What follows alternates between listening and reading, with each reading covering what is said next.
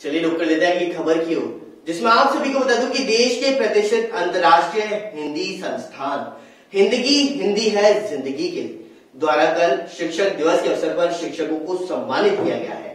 साथ ही शिक्षकों को सम्मानित करने के दौरान आप सभी को बता दूँ कि इसमें हज़ारों शिक्षकों ने देश विदेश से प्रतिष्ठा भी भेजी थी, लेकिन इनमें से पाँच शिक्षकों का ही चयन किया गया है। जिसके अंतर्गत जयपुर से विजय लक्ष्मी जांगीर को सम्मानित किया गया।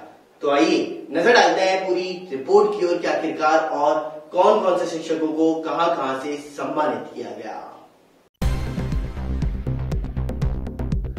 देश की प्रतिष्ठित अंतर्राष्ट्रीय हिंदी संस्थान हिंदगी हिंदी है ज़िंदगी, द्वारा हिंदी शिक्षकों को सम्मानित किया गया है।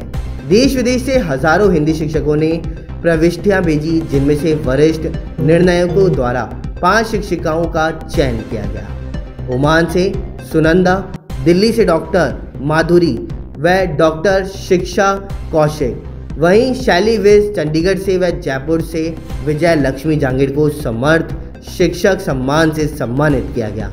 हिंदगी हिंदी है ज़िंदगी के संस्थापक डॉक्टर ऋषि शर्मा ने बताया कि शिक्षक दिवस के अवसर पर समर्थ शिक्षक सम्मान से सम्मानित। शिक्षिकाओं के साथ गहन व विचार उत्तेजक विचार गोष्ठी का आयोजन किया गया। डॉक्टर सर्वपल्ली राधाकृष्णन के शैक्षिक विचार विषय पर आयोजित इस विचार गोष्ठी का संचालन जयपुर से विजय लक्ष्मी जागीर ने करके दिखाया।